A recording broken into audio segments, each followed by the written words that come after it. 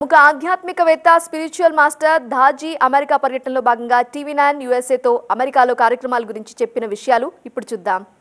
నమస్తే దాజీ. నమస్తే Ujjwal G so Daaji అంటే చిన్నాన్న. So how did you get that name Daji? That's very first bowling. well, I didn't like to be called Guruji and Maharaj and things like that. So I picked up a name so that would go well with people as well as accepted in the society. And it's more affectionate when you call someone, because in India, by and large, and in Iran also, it's uncle. In Iran, mother's brother. In India, it's father's brother who is considered as Daji. Mm-hmm. So I thought, why not?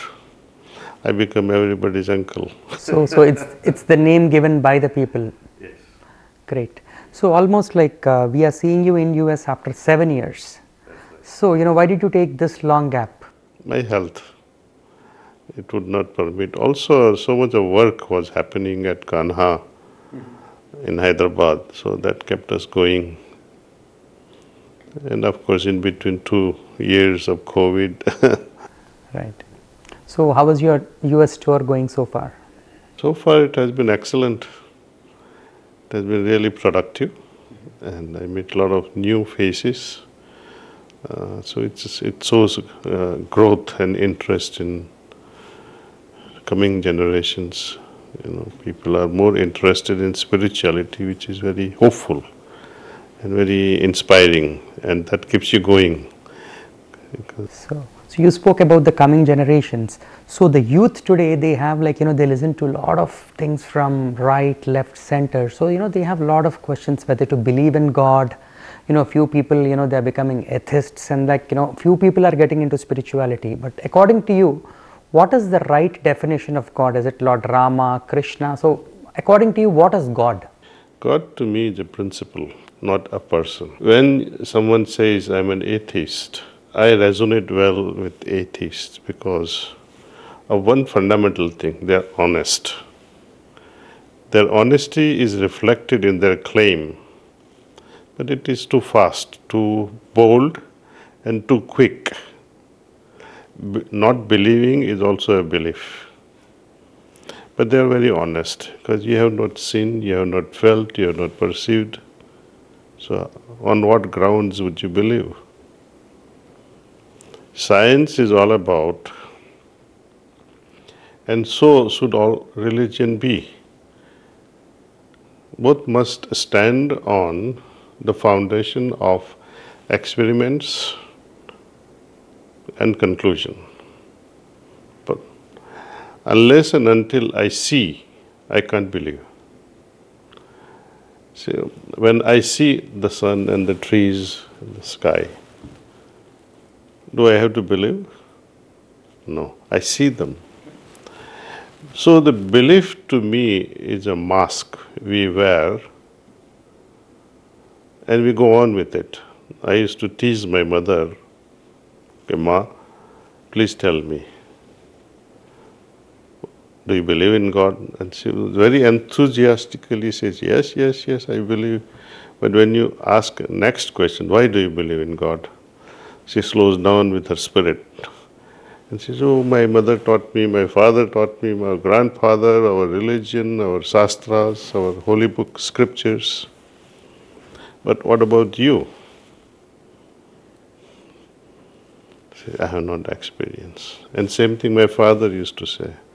Because I used to see him waking up at four in the morning and in the evening also, twice a day he would do arati, visit temples, feed some birds also on the way. He said, I asked him, You've been doing this for last 62 years. Have you experienced anything? He said, No, I'm waiting for something. So to me, knowledge, the belief, dogmas inculcated into us by our religion, they are good. It's a good training. But without the backing of experiences, this knowledge, beliefs, and dogmas they remain hollow and unproductive. And we remain merely superficially satisfied with this, having believed. I'm also believing. But when there is no foundation in our belief, a little bit goes, goes awkward, for example. Your spouse misbehaves with you, or your children fall sick, or your business fails, then you begin questioning God's existence. So that's how deep our faith is. But when you experience, then these doubts will not come. So I sympathize with today's youth because they are not going to buy the belief just like that without experiencing. So my next question is how do they experience? Well, the first of all, the direction should be the correct direction to reach a proper destination. All religions they talk about presence of the divinity in the heart. And when all these religions describe the nature of God, on one thing they are very in good agreement, only in one thing, perhaps few other things, but one thing that stands out in all religion that God is love. And where can you feel the presence of love? Not in your liver, not in your kidneys or lungs, only in the heart. So it is for this reason that one has to go within, right? And that's your God, that's your life force. Let's see, the entity that gives you life, is, is it outside yourself? Like we saw little Hugo just now, right? Imagine the pain mother goes through at the moment of delivery. It's, it's like a hell let loose. And as soon as baby arrives, baby begins to cry. It's a sign that life force has come along. If this baby did not cry, then doctors would go crazy. Nurses would be on a high alert. Then they would tilt the baby upside down and tap to stimulate the heart and the lungs. And if the baby still doesn't cry, then mommy has to cry, the whole family cries. Because that life force did not come, did not come along. See? So that life force is within me, that godly entity is within me, it's not outside me. And when one starts looking for that presence outside, I take it as a wrong direction. Tell me one thing was not Lord Jesus a divine personality? He was. Was not Lord Krishna a divine personality? He was. Lord Rama, whom you question as gods, right? Now, did anyone recognize their divinity in their lifetime? Their parents, their dearest friends? No one. In fact, the recent, the latest Lord Jesus was actually hanged. They hang the Son of God. How could you do that? Ignorance. Ignorance arising out because you did not recognize the divinity in him. In India, we recognize divinity in everything be it a cow or a dog or a donkey or a horse or a tree or a river or a mountain. Even non living entities are considered as God's representative. But there too, they could not see the thriving, living and thriving entity of divinity in Krishna. He had so many enemies in his lifetime.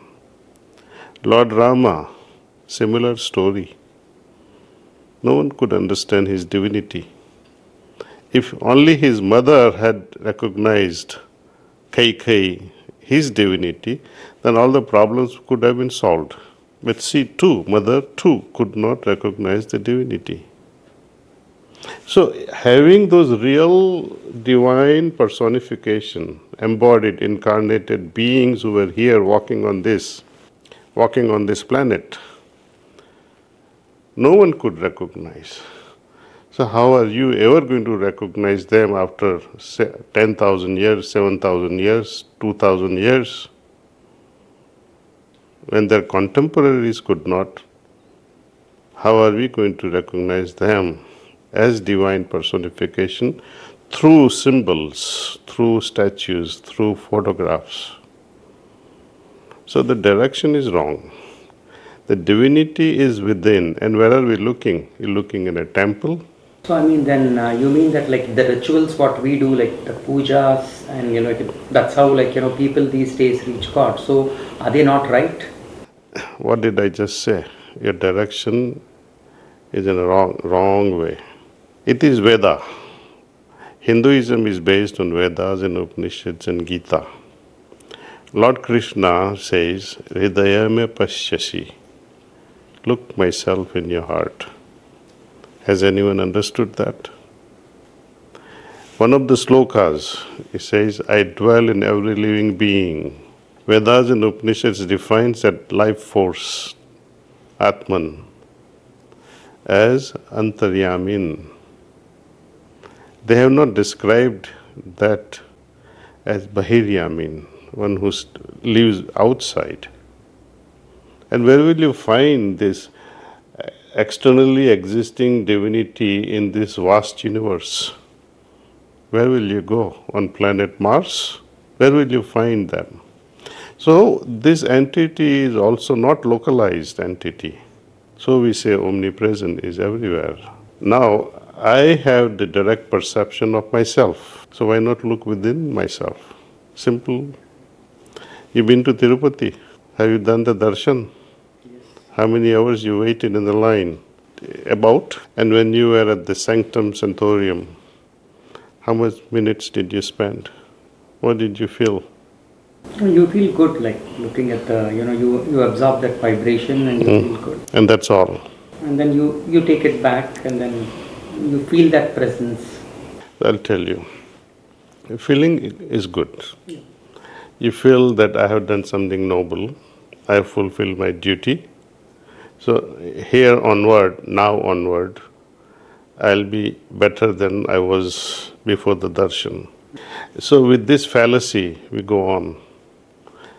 You know, Congress contestants, BRS politicians, BJP politicians, independent politicians, they all go to Tirupati.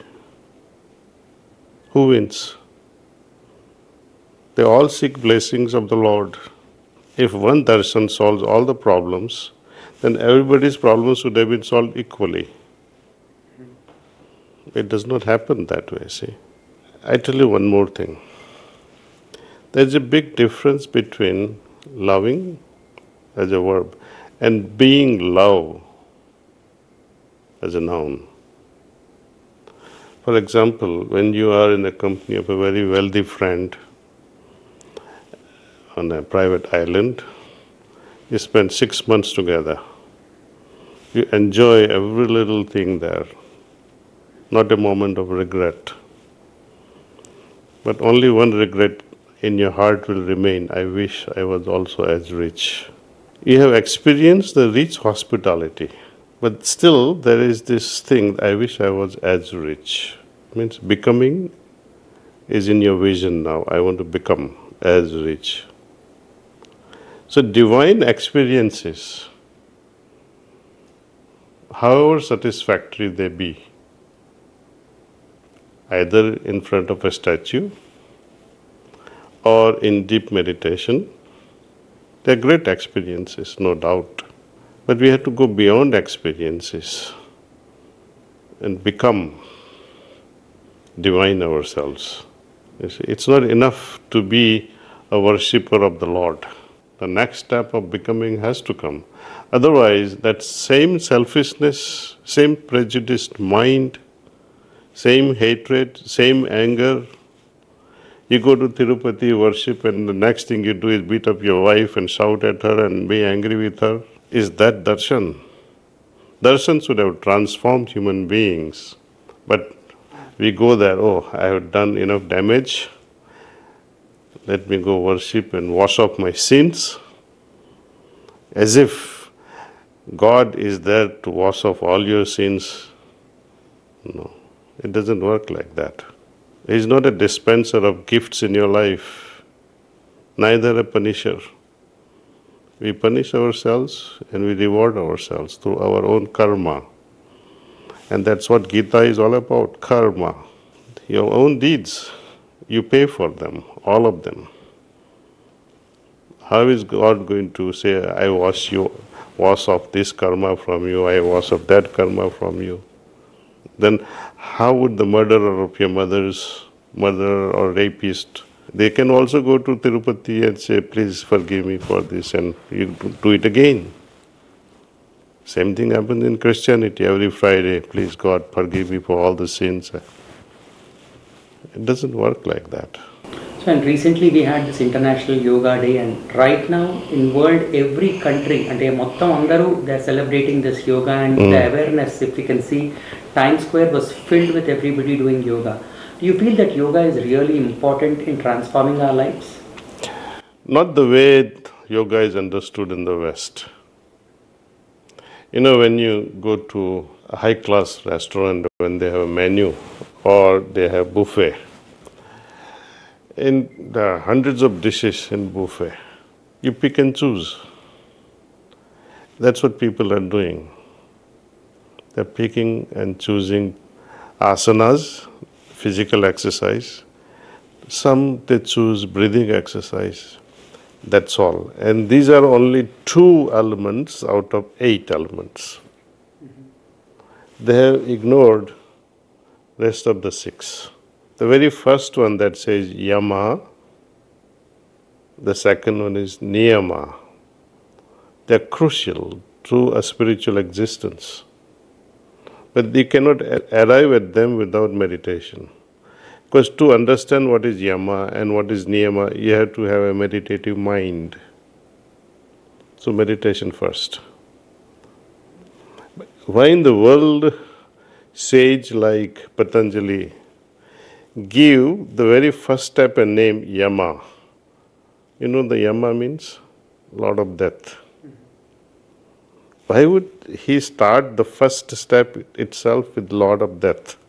He's trying to convey to kill, to kill all our negative tendencies, violent tendencies, obsessive tendencies, all sorts of negative tendencies. You curb them, kill them.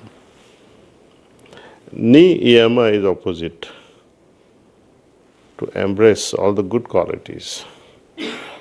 So these first two steps are very crucial.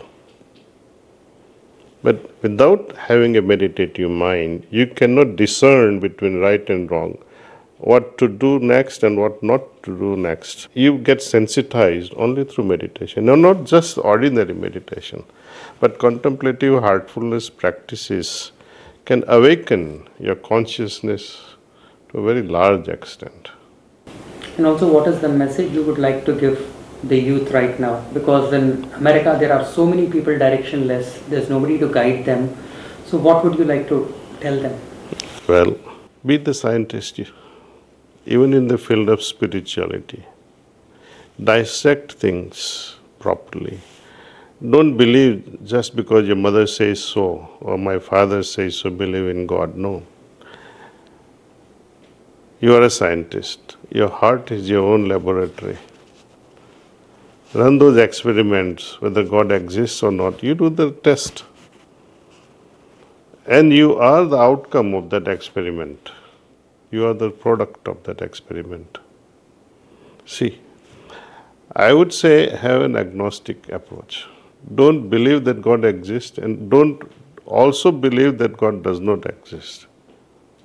I don't know whether He exists or not. We start with this neutral approach. To believe and run with it, you will be shortchanging yourself. And not to believe it will be inverse, actually. But to prove it to yourself first and say it does exist because I experience it. And we are here at Heartfulness. Anyone wants to try and meditate and see oneself every day transforming little by little, little by little. This is a yogic path which is beyond religions. It's neither Hindu nor Muslim nor Christian nor Judah. It is beyond religions. Because we entertain that entity in our heart without any form. We entertain that principle in our heart, see? And that is experientiable. Great. So, is there any like website to enroll or anything like you know because a lot of people now would want to join and, Yeah. and uh, because uh, We have this heartfulness meditation app. We also have website heartfulness.org or, or srcm.org. So, and are there like you know some regular camps and meditation? For, I mean, I'm, I'm talking about the American uh, region.